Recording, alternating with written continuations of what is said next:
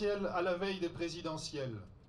De fait, Nous sommes là, et bien là, toujours aussi déterminés contre cette loi travail.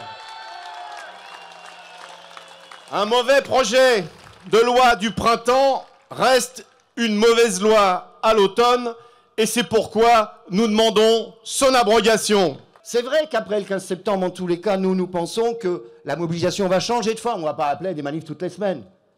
Ceci étant, j'ai dit et je le redis, ce dossier, ça doit être le chewing-gum qui colle au basket du gouvernement.